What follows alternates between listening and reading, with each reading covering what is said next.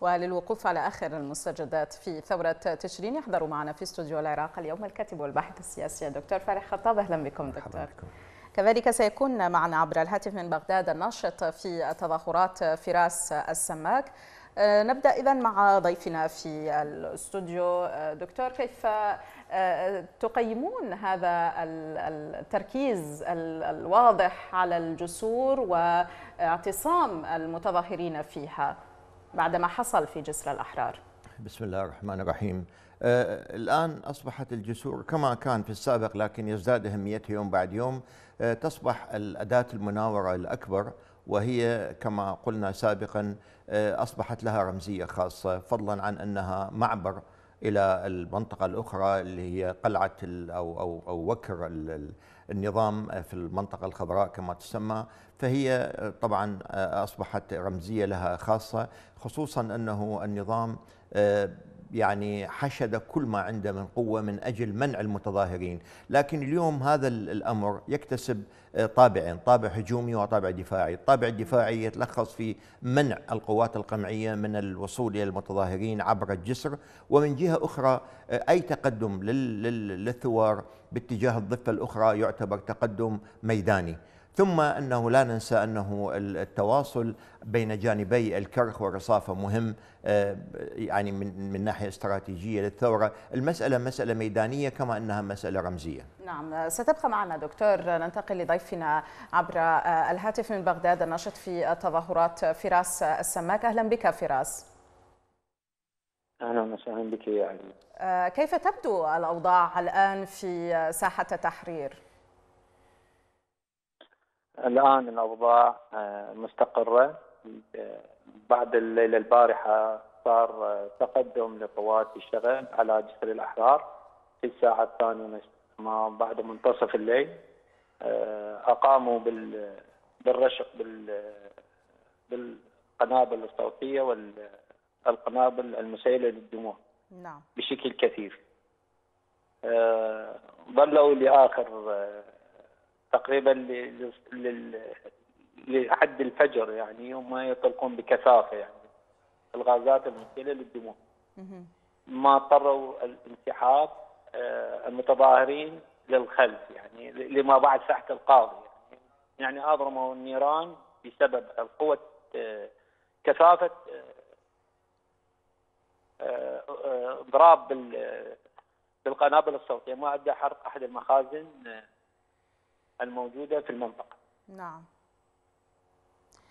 ستبقى معنا آه، فراس. آه، نتحدث أيضا مع الدكتور عن التحاق فئات جديدة من الفئات الاجتماعية كالمهندسين والأطباء المدرسين في الجامعات وكذلك الطلبة في المدارس والجامعات التحاقهم بالإضراب العام، كيف ستؤثر هذه الفئات في زخم الثورة؟ وماذا يعني هذا الإضراب لإنجاح الثورة؟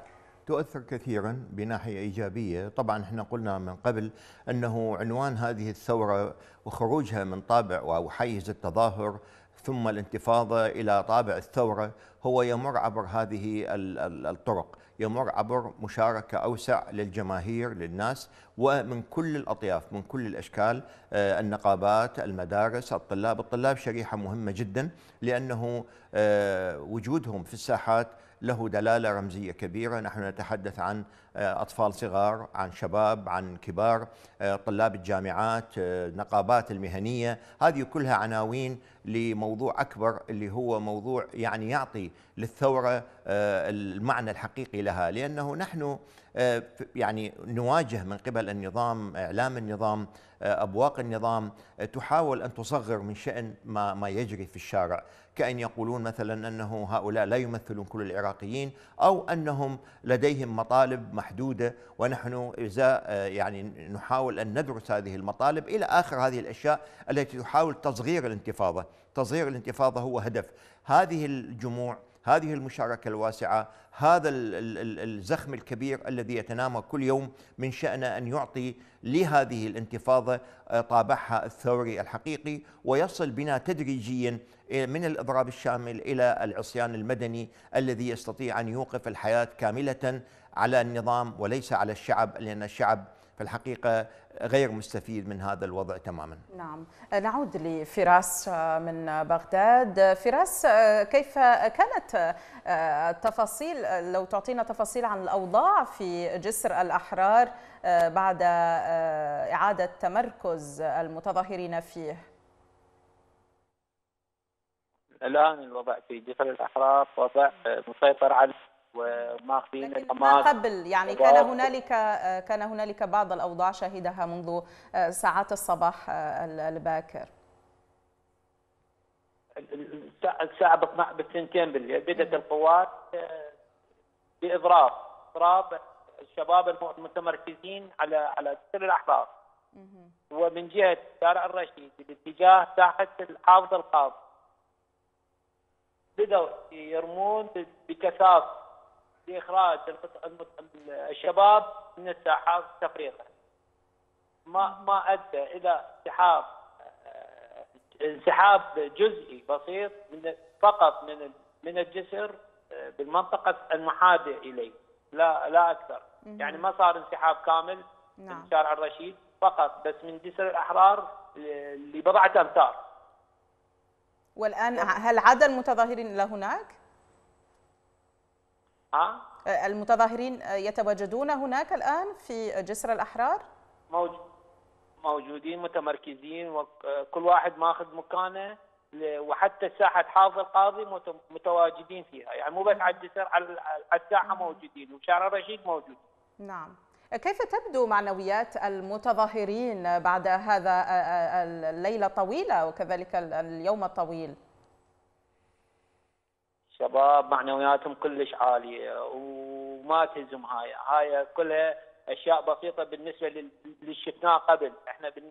هاي هاي أمور اليوم الشباب هم مصدين لهالمواضيع كلها.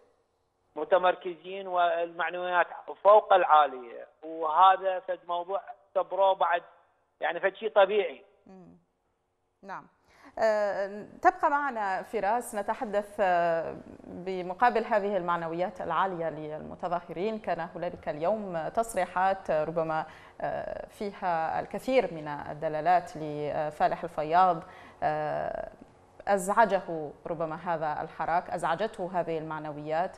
وصرح العديد من التصريحات التي نقرأها بشكل من الأشكال ربما تفسرها لنا أنت دكتور. نعم. قبل ما أجيب على فالح الفياض يعني أتكلم عن الفراس وما قال فراس. فراس اللي قاله مهم جدا. م. الشباب عبروا الآن هذه ضفة الخوف. عبروها الآن. أصبحت الآن معارك كر وفر عندما يواجهون وهم يعني نقدر نقول مسالمين. يعني هم لا يملكون أي شيء. يملكون صدورهم يملكون ملابسهم اللي لابسيها وبعضهم بدون ملابس يعني كثيرة. ها؟ يواجهون هذا العنف هذا الدم هذه القنابل هذه كل وسائل الدم. ها؟ فنحن يعني أشياء مبشرة حقيقة. وأصبحت هناك أيضا معرفة بالمواقع. مواقع الكر والفر. يعني أصبحوا يعرفون المنطقة جيدا. هذه العمارة هذه البناية هذا المدخل هذا الشارع هذه الزاوية هذه الساحة هذه كلها مهمة في تخطي حاجز الخوف الذي لا يملك العدو سواه. يعني لا يملك إلا أن يبث الخوف ويملك هذا السلاح. وبالعودة إلى فالح الفياض فالح الفياض نتذكر جيدا أول أيام الانتفاضة كيف خرج وهدد. وقال سنفعل ونفعل و ونستخدم القوة ويعني أرعد وأزبد ها؟ لكن لم ينفع شيء.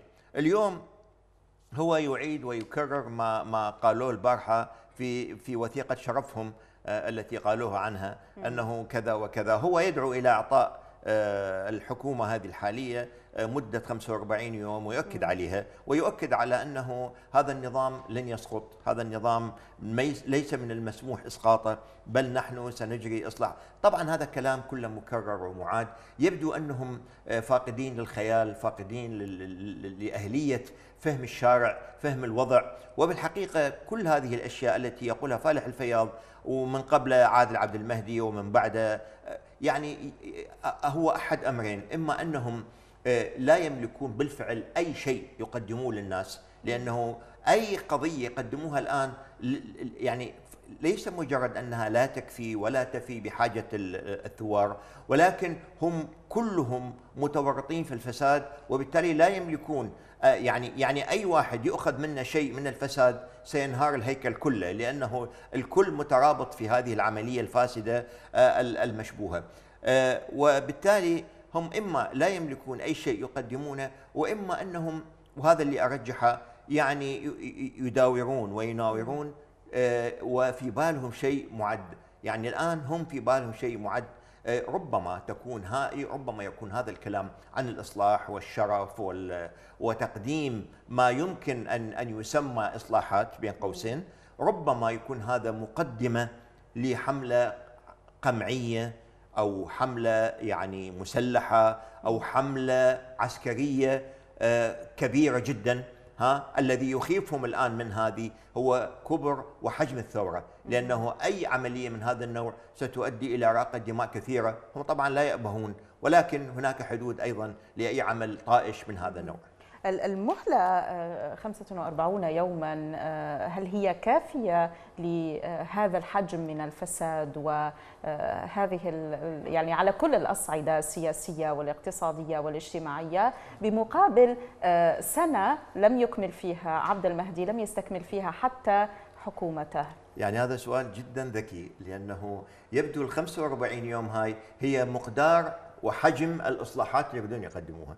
يعني هم يريدون يقدمون قدر بسيط جدا وضئيل جدا إذا قدموا طبعا إذا صدقنا بهم. لكن إذا قدموا هم ناويين يقدمون أشياء بسيطة جدا على قد ال 45 يوم. مثلا أضرب مثال بسيط. يعني قبل أيام آه، قبل أسبوع ربما آه، آه، في وحدة كذا الشمري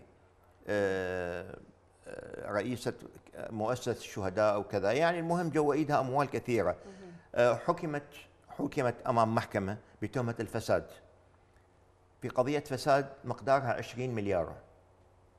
المحكمة حكمت عليها سبع سنوات ها مع وقف التنفيذ. وغرامة 200 دولار. فقط. لك أن تتخيلي ما هو نوع الإصلاح المطلوب الذي يفكر به هؤلاء هؤلاء المجرمين. كيف يفكرون؟ قضية ب 20 مليار حوكمت بسبع سنوات سجن مع وقف التنفيذ. يعني إحنا إذا قلنا فقط سبع سنوات سجن كمن يقول لا تقربوا الصلاة؟ وانتهت المسألة. ها؟ يعني ما يكمل. لكن نكملها مع وقف التنفيذ. والغرامة كم؟ لل 200 لل 20 مليار 200 دولار.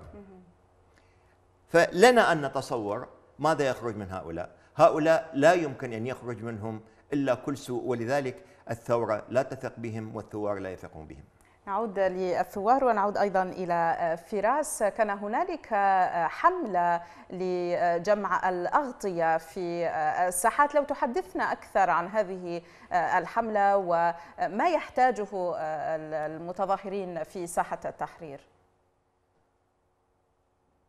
حملة جمع البطانيات قبل يومين صار برد بالساحة. مجرد مجرد ما صار ما تعرفين العالم منين قامت تجيب البطانيات يعني عالم قامت تجيب البطانيه مال البيت مالتها الشخصية وقامت اذلي ولدي. يعني يعني روح التماسك اليوم بالشعب العراقي في في أعلى قمه من القمم. يعني اللي يعني هذول يعني آه نفرح وصلنا يعني هم رادوا فتيه يوصلون البلد للتمزق بس إحنا بهاي بهاي الانتفاضه صار تماسك أكثر فاكثر يعني رجع البيت العراقي بيت موحد غصبا على الأنجاز جو على أخبار الدبابات الأمريكية وأذيال إيران.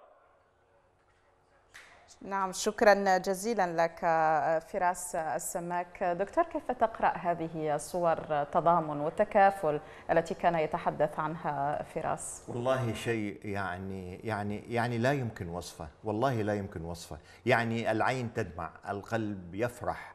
يعني يعني يعني نحن حقيقة نقولها بصراحة وأمانة كدنا أن نبلغ اليأس من مجتمعنا العراقي إلى حد قبل أشهر والله. يعني كلنا أصابنا يعني إحباط قنوط لأنه الأخبار التي تأتي ترويج مخدرات على آه، فجور يعني طبعا عملية مقصودة عملية هندسية مقصودة هندسية لتفكيك وعر المجتمع. لكن أن يخرج هذا كله ويعني يعني هذا التضحية هذا البذل دعينا من كل الأخبار ما نشاهده في الصور نساء يكنسن طبيبات يقومن بالإسعاف. يعني مناظر حقيقة حتى أفلام الأفلام لا يمكن أن تأتي بها ولكن نراها على الواقع. وبالتالي نساء كبيرات في السن الطبخ الكذا يعني مشاهد تدل على تدل على على لحمة هذا الشعب العظيم لبلد عظيم دولة عظيمة. ولكن هذه الدولة مخطوفة الآن وهؤلاء الثوار يريدون استعادتها. ولذلك أبرز شعار في الشعارات أريد استعادة الوطن إعادة الوطن. هذه هذا الشعب لا يغلب لا يمكن أن يغلب. ولذلك هم رغم قوتهم رغم سلاحهم رغم ميليشياتهم رغم حشودهم المدججة بالسلاح والله هم يخافون من مواجهة هذا الشعب. لأن هذا الشعب حتى لو كسر عسكريا فإنه لن يكسر نفسيا خاصة بعد الذي يعني بعد الذي حدث. وستكون هناك جولات هذا الشعب سيكبر ويكبر ويكبر لأنه هذا الشعب لا يمكن أن تحكم أي إرادة فاسدة أو أجنبية إلا أن يحكم نفسه بنفسه شعب عظيم لدولة عظيمة بلد عظيم كالعراق العظيم. شكرا جزيلا لكم دكتور فالح خطاب الكاتب والباحث السياسي وشكر موصول كذلك لناشط في التظاهرات ضيفنا عبر الهاتف كان معنا من بغداد.